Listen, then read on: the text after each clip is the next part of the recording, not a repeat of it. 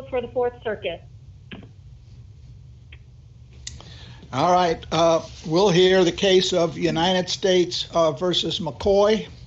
I see counsel are present, and uh, uh, we have Judge Agee uh, in full view, and uh, uh, Judge Traxler is on by telephone from his location. And uh, we'll begin by hearing from you, Mr. Ashton.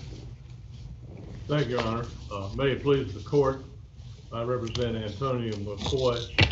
He was convicted of a drug conspiracy case, continuing criminal enterprise, 60-month consecutive sentence for a firearm, and uh, a number of other concurrent drug sentences. Uh, Probation uh, seemed to apply just about every enhancement they could, and the judge uh, went along with it and assigned maximum sentences on every count.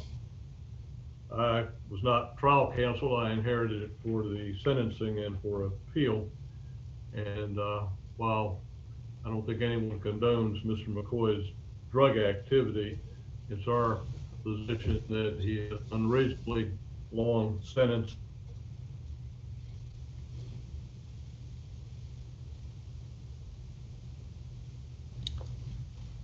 I think we've lost counsel. Can't hear me? No, I couldn't Now hear we you. can. Yeah, Should I start again? yep, you're okay now. Okay. Your machine froze up. All right, we did not notice that, but uh, Yeah. anyway, I don't know how far I got, but anyway, uh, what we're trying to get is a, uh, either a, a new sentencing hearing or a new trial, because it's our position that, uh, Mr. McCoy's sentence is unreasonably long.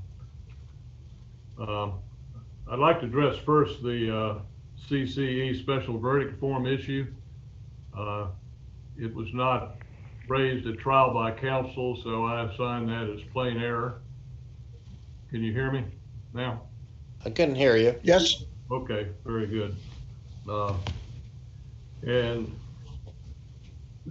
it's our position that this is a type of case and that the jury must unanimously agree on which three specific violations make up the series of violations. And there ought ought to be some type of special verdict form like we have in the drug cases on amounts, uh, firearm cases on brandishing and, uh, discharging, uh, bank robbery cases and things of that. well, let me ask you, uh, it, it clearly would have been uh, nicer to have that information, although we may have it from the fact that the jury uh, convicted on other counts. But setting that aside, um, is there any rule that a special verdict form is mandatory? Uh, is it, in other words, is it error uh, to have submitted a general verdict? Um, we cited Apprendi in our brief, uh, and I think if it's something that the jury has to make a factual determination, as if there's a greater sentence or something of that nature, that, uh, there should be a special verdict form, and in this particular case, there is a, uh, it goes up to a twenty-year, I believe, uh, mandatory minimum sentence. And the seriousness of the CCE charge as it relates to the conspiracy being above that, conspiracy being a lesser included offense, uh, a special verdict form should be required, certainly as to. Well, do, do you have a do you have a case that provides that? The you know most of the cases, I think all the cases I've read, simply require the district court to instruct the jury, as it was instructed here, that it must be unanimous as to the three uh, predicate crimes. And I, I haven't seen a case yet in this area where it's been found to be an abuse of discretion or error uh, to have um, required uh, the special verdict form. I mean, do you have a case that has required it and said it was error otherwise? not a specific case. Now, the Brown case, of course, dealt with, uh, I believe, drugs and money laundering and a firearm, as did the case here. And so the Brown case is the one that I rely on with the Fourth Circuit. and it did say that it was uh, subject to harmless error review. And the Brown case found it was not harmless because they could not tell uh, which particular cases the jury relied on. Now, I know in this case, Mr. McCoy was convicted of several other drug offenses, but I would say out of an abundance of caution, there ought to be a special verdict form as to which those were to make sure there was a unanimous agreement on each of those. Well, the Supreme Court in Richardson in this uh, CCE charge area only required that the jury unanimously agree. There was no requirement of a special verdict form. It might be prudent in some circumstances, but um, uh, uh, th- there doesn't seem to be any direction from the Supreme Court that would require it. Well, I, I agree with that. I think we may need some more direction, but what I, I think the argument here is that they're looking at Brown and seeing it had the same type of charges, uh, and, uh, a new, new trial was uh, warranted, that, uh, there's a possibility here. I think something as serious as this ought to have a special verdict for. And I also have a, I guess the motion to uh, Rule twenty-nine motion for judgment of acquittal is also based, just basically on the CCE charge. Um, I think there was sufficient evidence to go to the jury on the others. Um, But we would, uh, argue on that, that the continuing criminal enterprise should have been dismissed for insufficient of the evidence. And basically, the, the prong that I was argued there had to do with the leadership role and the insufficiency of the, evidence on the, on the leadership role under Sales and Slade. And, uh, I, tried to limit it, but if, uh, it's certainly our position that there was no, uh, drug trafficking organization or leadership role. I think the trial attorney referred, referred to it as a, just basically loose, loose organization, a bunch of guys from Garland that were out buying and selling drugs, which is very similar to Slade, who was actually here in Craven County where, where I live, mid-level drug dealer, uh, buying, selling drugs. And so those are the two issues on the CCE, case. I would submit there's one, there's really only one trial evidentiary issue that we did raise on the appeal, and I would argue to the court it is quite significant, is the, uh, what I term the abortion issue. The, uh, trial judge let a lot of irrelevant and prejudicial evidence in about Mr. McCoy's desire for his girlfriend, Andrea Kia Parker, to, uh, get an abortion.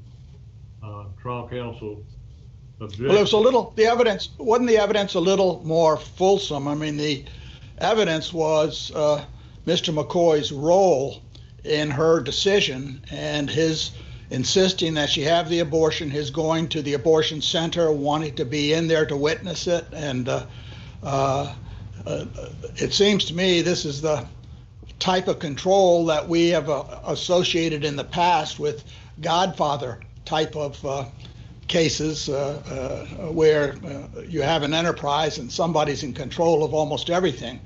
Uh, I think it's relevant to that extent, and you didn't make a prejudice argument in the district court, and I'm not sure how far that would have gotten, but it seems to me um, the district court admitted it for relevance to show uh, McCoy's control over the participants. And uh, uh, uh, why isn't that uh, uh, a- discretionary decision that, that the court could have made? Well, I would submit it was actually a, a, a wrong decision. I believe this was just a, well, of a boyfriend, girlfriend thing. Obviously, uh, Ms. Parker was in love with Mr. McCoy. Uh, it was a personal thing. And, uh, as far as control goes, she did not have it. She, uh, went to have it, but made, made her own mind up not to, didn't tell him. And the judge let in all the facts about that. And then, uh, on redirect after, uh, an objection to that as well, let in facts that, uh, he then, called her names and said she deserved this, that, and the other, and just, uh, went, went on and on. And this is a very, I would submit, is very prejudicial. And, uh, I, I would also submit that, uh, the, the, uh, trial counsel did not need to make a second objection, uh, just, uh, to the prejudice fact, because the judge was certainly put on notice that he was objecting to this type of evidence. And, I thought the objection was based on relevance. well, that's what he said, uh, the first time, but I, would, I would submit that Rule four oh three just follows, uh, you have to first see if the evidence is prejudicial, and then second, uh, I mean, first see if it's irrelevant, if it's irrelevant, is it prejudicial? And it's, it's sort of subsumed in, in, in that, uh, as, as, as we go forward, and, and when the judge just denied it, uh, a lot of trial counsel don't want to keep objecting to everything, and it went on and on, when it went back, it, uh, uh, the redirect examination, he objected again, and I would certainly submit that was sufficient, uh, and the error was, if it is a plain error standard for that part of it, I would submit it, it was still plain, it was certainly not harmless. Very, very prejudicial, and it's, abortion's a hot issue all over. It's, uh, political, people have strong opinions on both sides, and you get a jury in eastern North Carolina trying to decide a case with drugs, and to just go off on that tangent uh, twice with Ms. Parker, we would submit was uh, very, very prejudicial, and enough so that it would entitle Mr. McCoy to a new trial.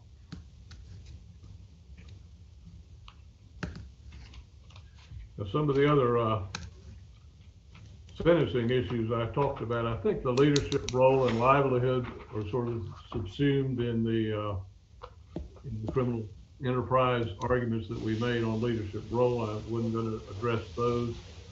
Also, we have the objections to relevant conduct and violence, and the problem I have with that, and I think most trial counsels do, is the fact that the probation and then the judges can go way outside the actual evidence that came in at trial. Uh, I know the case law is not real supportive of defendants on that, but in the grand scheme of things, in this case, uh, they brought in a lot of, uh, relevant conduct all going all the way back to two thousand seven. Uh, some violence, uh, conduct that went way preceded that, nothing about violence at the trial. The only firearm uh, count and charge had to do with the agents setting up the confidential informant to see if they could buy a gun from Mr. uh, McCoy. And I think the agent testified he never saw Mr. McCoy with any type of weapon or firearm on any of the other occasions. Uh, And so it's, our position that just have to look at that in the grand scheme of things. As far as obstruction of justice, I know you, we tried to get you some better pages to look at on those letters and, uh, and of course, the, the, the phone call. And again, there were no threats, there were no promises, there were no harsh words. Everything we contend was supposition that Mr. uh, McCoy maybe meant that Ms. uh, Parker not testify, but uh, the agent himself testified there's nothing in the letters or the phone calls, uh, any direction to uh, Ms. Parker or her mother for him not to testify. Ms. uh, Parker, Parker, she- several times, she loved the defendant. She just was, I guess, head over heels about him. She, he never put her in harm's way. There were never any threats, never any force uh, to do anything. And if you look at those letters and the timeline uh, of the phone call, the phone call was in November of 2017. The trial here didn't start till May of 2018. Uh, One of the letters was dated in February of 2017.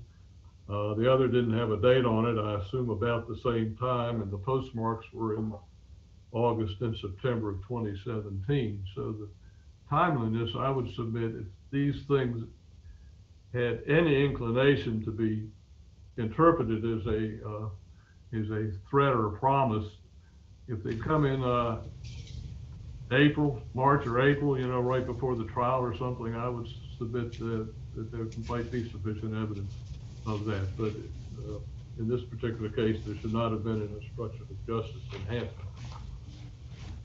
And finally, as I alluded to, uh, when I was opening, uh, both the departure motions and variance motions were, were denied. And under, uh, Gall there, with, the standard reviews of reasonableness applying an abuse of discretion standard. I understand that's a, a high burden, but this sentence was, uh, certainly more than necessary to, uh, punish the crime as it was intended. And I'm over my time right now. I'll reserve the rest of it for rebuttal unless there are any. All right, th- yeah, you have, you have some rebuttal time. All right, uh, uh, Mr. Bragdon? Good afternoon. May it please the court. My name is David Bragdon and I represent the United States.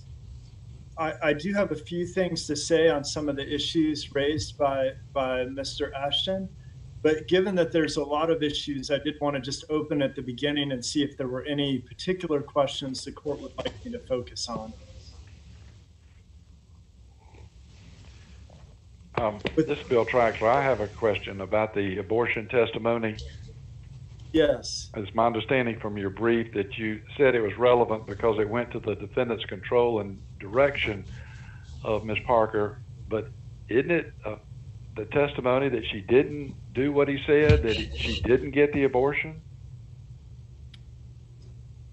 Yeah, yes, Your Honor, it is, it is the testimony that she did not get the abortion. And, and so I think the control would be here that she didn't get the abortion, but she did go with him to the clinic and she hid the fact that she didn't get the abortion. And so she walked out the back door, I believe the testimony says, without ever telling him that she had not gotten the abortion. And her, his control is is so complete that he didn't actually find out that she was still pregnant until after her arrest when she's in jail and and her mother goes to him and says you know this is a problem. She's in jail. She's pregnant.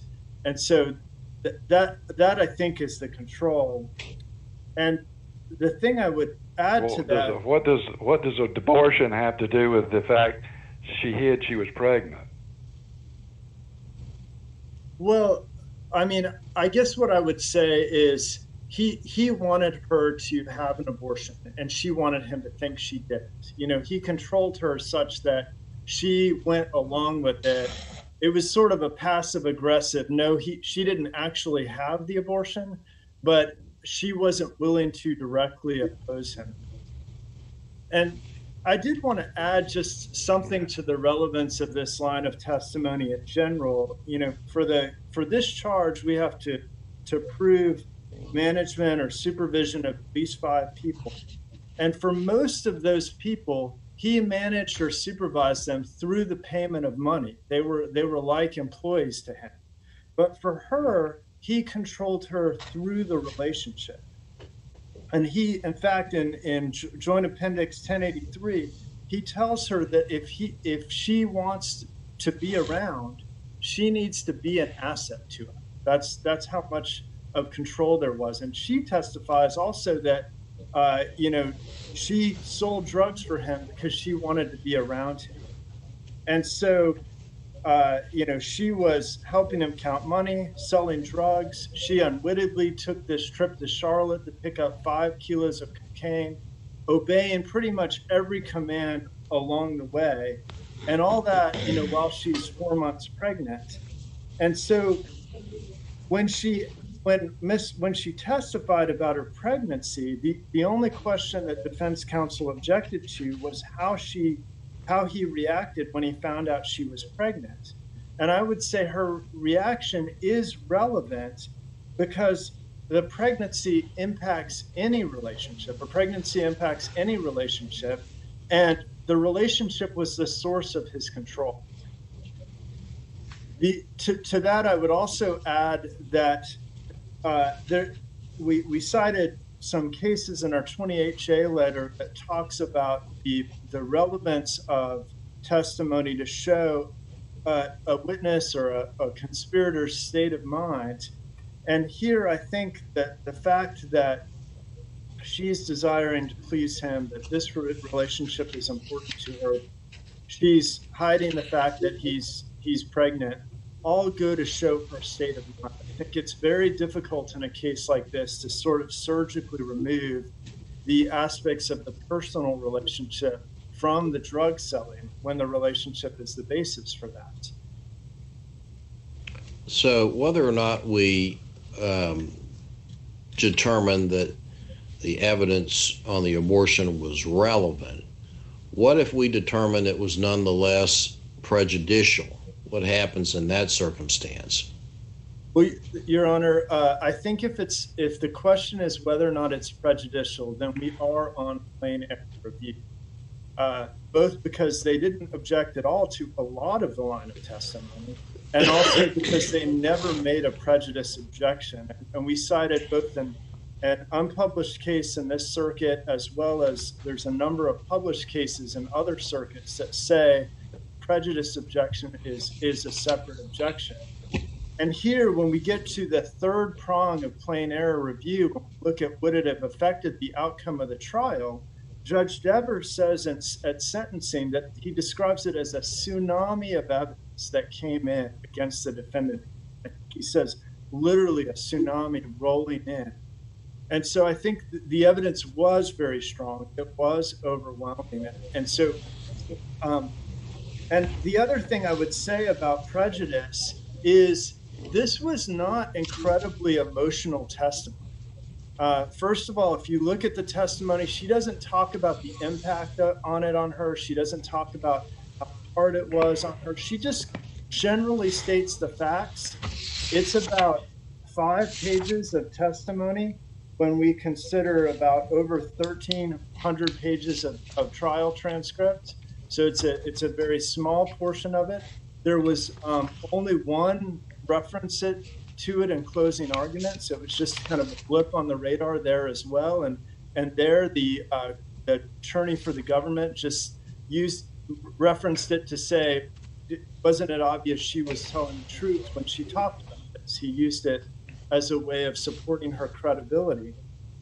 And and and further, to the extent abortion is controversial, um, it it is um, it is controversial, but she didn't actually have the abortion. And so I, I think that's that's relevant too. The other thing I would note is um, we did cite the in our 28J letter we cited the case of the United States versus Rice, where which is an Eighth Circuit case where uh, even the court found that even irrelevant admission of uh, testimony about the defendant's girlfriend having an abortion didn't require reversal. And so I, I think if there'd been a prejudice objection, the court would have considered that issue. He might have decided to give a limiting instruction. There could have been a lot of actions he might have decided in the midst of that because no prejudice objection was raised. Nothing could be done about that. And um, and that in terms of how prejudicial it was, the attorneys in the courtroom were really the people in the best position to know if this was prejudicial. And one would think that if it was really prejudicial, the defense attorney would have been jumping up and down, objecting to multiple questions, you know, asking for a, a bench bar with the court, possibly even filing a motion in limine. And, and none of those actions were taken. Uh, I'm going to move um, to, I think, uh, just the sentencing issues if there's not other questions related to that portion of the testimony. Just to briefly address um, sentencing, I wanted to um, I wanted to note uh, that the court in Joint Appendix 1630 to 31 does find an alternative variant sentence. And so I think, regardless of the guidelines issues, as we noted in the brief, the lowest possible guideline range this defendant could have had been 360 months to life. If if the defendant wins on every single sentencing objection, he's still a career offender and he would still have 360 to life. A life guideline sentence would still be within the guideline range, and the court found that even if it miscalculated the guideline range, it still imposed life. Um, the the second thing I'll note is uh, just that on both the violence and on the drug weight, uh, this court has said that if a party is objecting to information in the pre-sentence report, it has an affirmative duty to show that the information is incorrect. And the defendant below did not make uh, any specific arguments about what was wrong about the drug weight in the PSR or the violent crimes the PSR. So I think in terms of that, the guidelines were accurate. The court did accurately impose them, but even if it didn't, um, it imposed an alternative variant sentence. And in terms of substantive reasonableness, uh, in this case, um, the court, you know, one of the one of the confidential informants talks about the defendant's own words, where he says that he was a drug dealer his whole life. In the letters to and Andrikia Parker, he's talking about still having five bricks of, of cocaine and a, a million dollars and the desire to, to start up immediately after being released from prison. And there's no indication, well, this is certainly the longest sentence the court could impose. There's no indication that it was unreasonable in the, in the large scale drug trafficking organization we have. The uh, if if there's no further questions from the court, uh, we'll we'll rest on our brief on the other issues, and I would ask the, this court to. Thank you, Mr. Bragdon. Mr. Ashton? Thank you, Your Honor. Am I on? Yes, sir. Okay.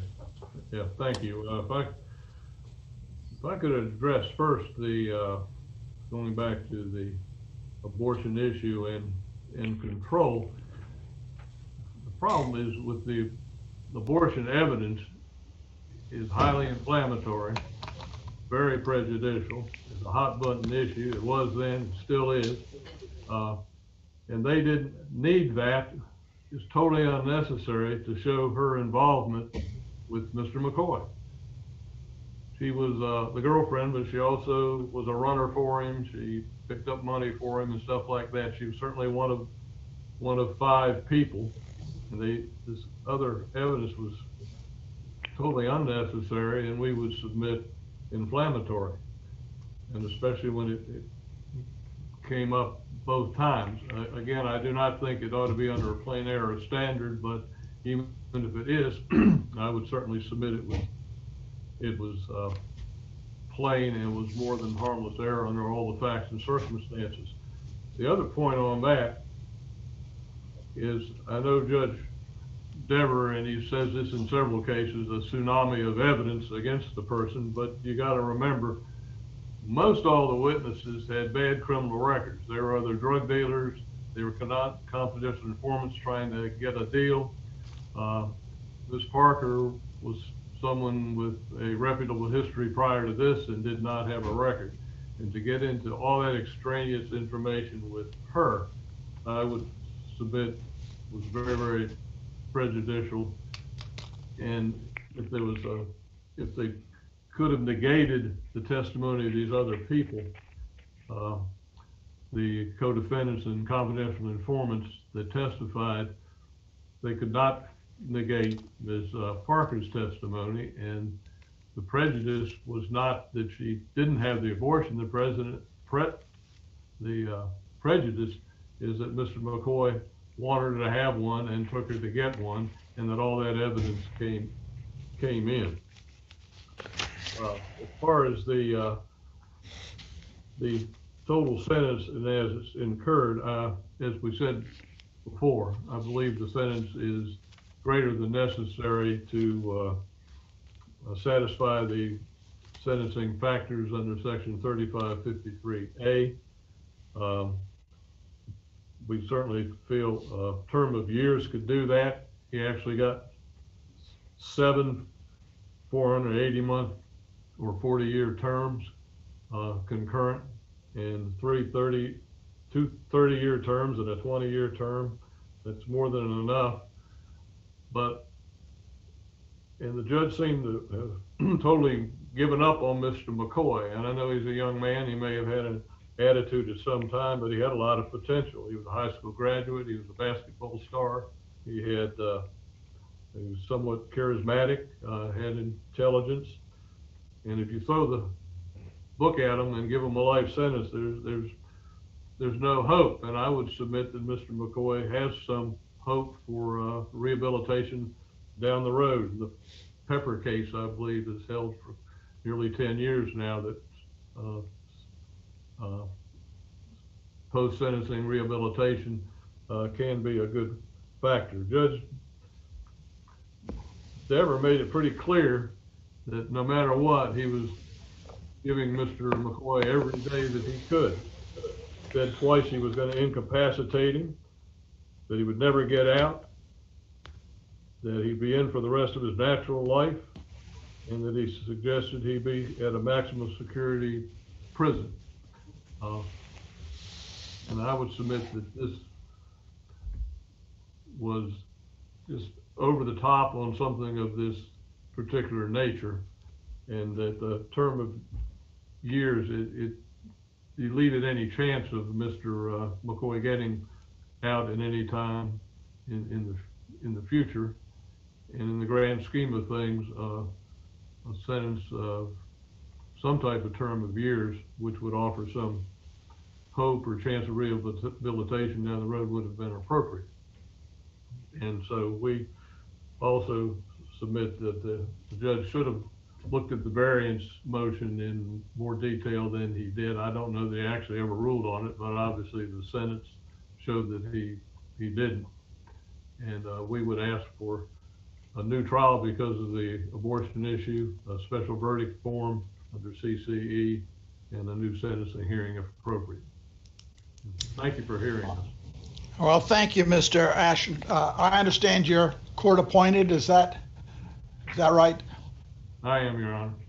Yeah, well, I want to uh, express our appreciation and recognize that. As you know, we value that enormously, and uh, uh, you have uh, enabled our system to go forward in that respect. Thank you very much. Well, Uh. We'll uh, adjourn court for today, and, uh, uh, uh, and I'll ask uh, the judges to, uh, will conference uh, the case right after this. Uh, Will you please adjourn court? Yes, sir. This honorable court stands adjourned until tomorrow morning. God save the United States and this honorable court.